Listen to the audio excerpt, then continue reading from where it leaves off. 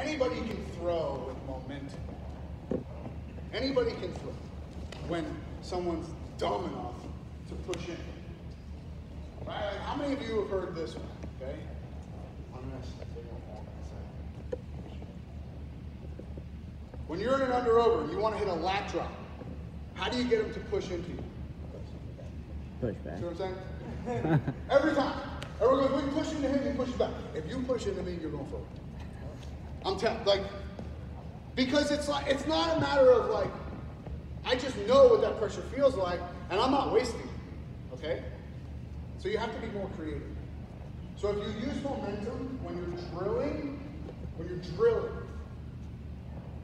lat drops or big throws, you're cheating because anybody can do it in a match situation. Like this, it happens like that in a match situation, right? Double A, he goes double on me, pull him up, he's still driving, go.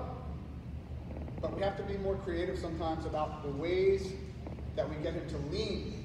Okay, Luke, get with uh, Isaac, please, and go to your inside trip. Isaac, be a pain in the ass. Don't let him have that inside trip.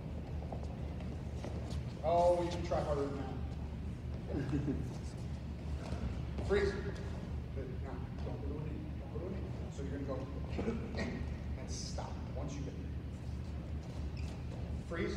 He steps out. Listen and listen closely. Both feet go in, and you're going to go into a group back arch. No, no.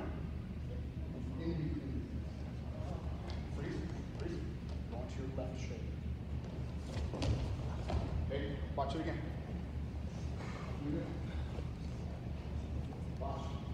So here, and look, Bite here. I'm really, I'm wrestling.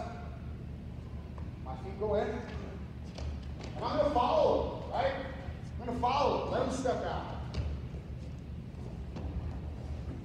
The slower, the better. Right? The slower, the better. I don't want you to do this fast. Anybody can do it fast.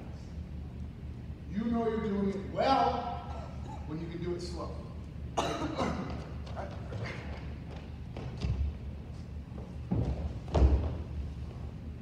que eu acho? Nos chamamos de